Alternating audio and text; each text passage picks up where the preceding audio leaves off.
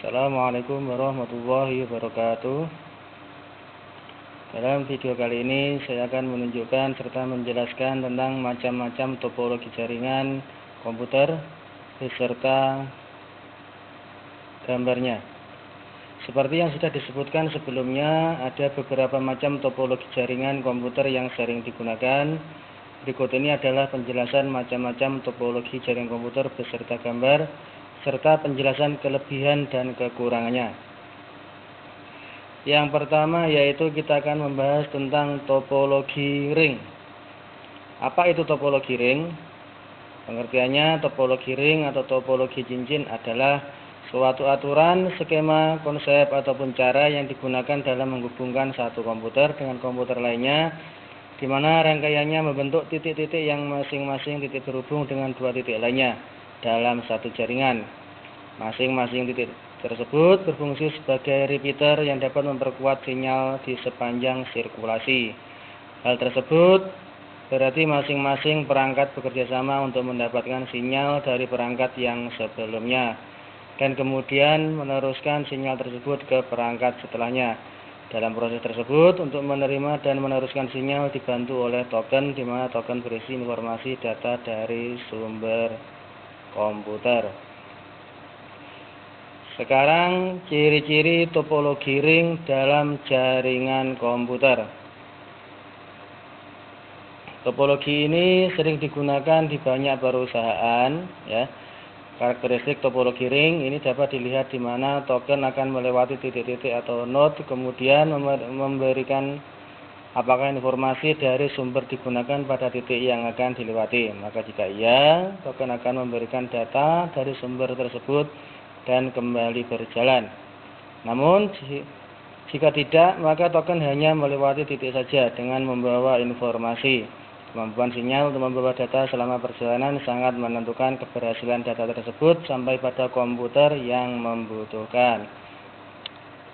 Dilihat dari pengertian topologi ring di atas, maka dalam penerapannya pada jaringan informasi perusahaan memiliki ciri-ciri dan karakteristik berikut.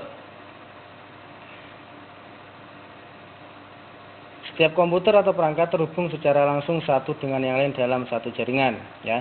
Jadi sudah dipastikan bahwa seluruh komputer atau perangkat terhubung dalam satu jaringan, ya, jaringannya satu.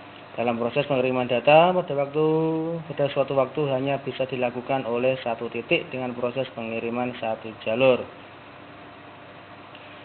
Pada penerapannya menggunakan jenis kabel UTP atau patch kabel dan setiap titik dihubungkan secara seri pada kabel dengan membentuk jaringan yang menyerupai lingkaran. Setiap paket data atau informasi bisa mengalir melalui kanan atau kiri titik sehingga hal ini dapat menghindari kolision.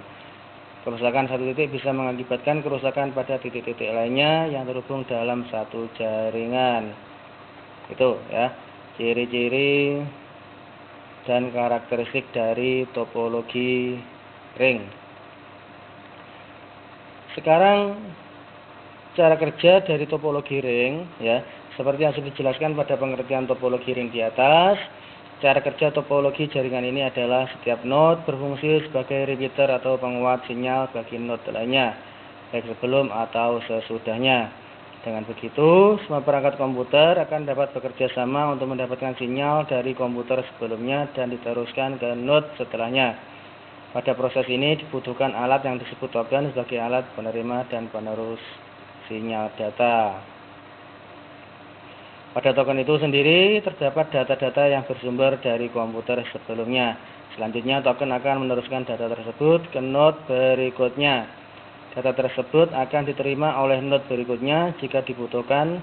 Namun, jika data tidak dibutuhkan, maka data akan diteruskan ke node selanjutnya.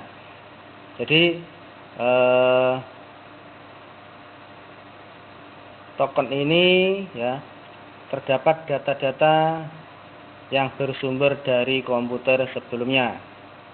Ya, misalkan dari server akan mengirimkan data ke klien. Ya.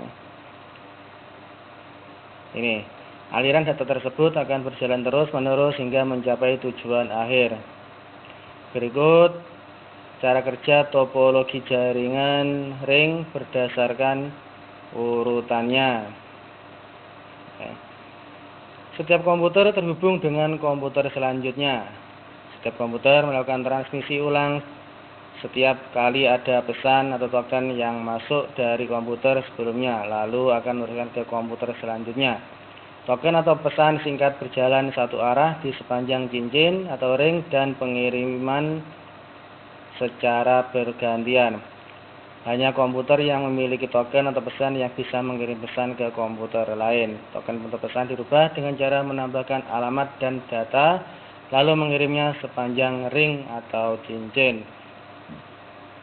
Kelebihan dari topologi ring mudah dalam hal perencanaan dan pengimplementasiannya, biaya instalasinya cenderung lebih murah dibanding dengan topologi yang lain misalkan topologi bus ya topologi ring ini memiliki performa koneksi yang lebih baik meskipun dengan aliran data yang berat sekalipun. Topologi ring juga dinilai lebih hemat kabel mudah jika dilakukan instalasi ulang atau konfigurasi ulang dalam perangkat. Memudahkan saat ingin melakukan pelacakan dan pengisolasian menghindari tabrakan data pada saat proses pengiriman ya collision karena hanya satu node yang dapat dikirimkan dalam satu waktu. Kekurangannya, jika terjadi kesalahan dalam satu node atau titik bisa mengakibatkan kesalahan dalam seluruh jaringan. Biasanya perusahaan yang menerapkan topologi ini menggunakan cincin ganda, ganda atau double ring untuk mengantisipasi permasalahan tersebut. Jika ingin mengembangkan jaringan, maka proses terkesan kaku. Ini karena pemindahan, penambahan, dan pengubahan perangkat akan mempengaruhi semua jaringan. Kinerja komunikasi dalam jaringan topologi ring sangat tergantung dengan jumlah titik atau node yang terdapat dalam jaringan. Semakin banyak titik tentu akan semakin lama proses pengiriman datanya. Memiliki konfigurasi yang lebih sulit dibandingkan topologi star serta memerlukan penanganan dan pengelolaan khusus vendors. Ya. Ini adalah contoh topologi ring dalam jaringan komputer. Ya. Ini umpamanya server ya, file yang ada di server. Ini jenis e, jaringannya ya. Jadi file dari server dikirim ke beberapa klien untuk misalkan kita ingin mencetak ya dengan menggunakan printer data yang dari server kita kirim ke klien untuk kita cetak dari gambar di atas dapat menyimpulkan bahwa aliran data pada topologi ring harus melewati node atau menggunakan token untuk transmisi data. Kesimpulannya, sesuai dengan pengertian topologi ring di atas, Tujuan topologi ini utamanya adalah membentuk alur komunikasi yang efektif di dalam jaringan komputer. Meskipun topologi ini memiliki beberapa kelemahan, namun lebih sering digunakan daripada topologi lain pada jaringan komputer perusahaan. Demikian penjelasan ringkas mengenai pengertian topologi ring, ciri-ciri, karakteristik topologi ring, cara kerjanya, serta kelebihan dan kekurangan dari topologi ring. Demikian untuk jenis topologi yang lain akan saya sampaikan di video berikutnya. Saya wassalamualaikum warahmatullahi wabarakatuh.